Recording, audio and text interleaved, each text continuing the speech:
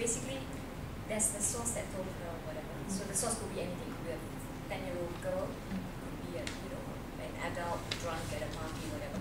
But basically, she spoke to other people who corrobor- corroborated that story. So in other words, sometimes like you know you don't need the source in the, at the end of the day because someone, other people will complete, make the story complete and make the story, uh, you know, the veracity of the story.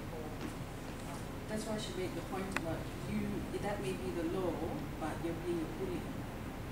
You know, because they decided or they worked out that the chap, the drunken fella who corroborated what the daughter said, um, was not the original source. But they still wanted the original source.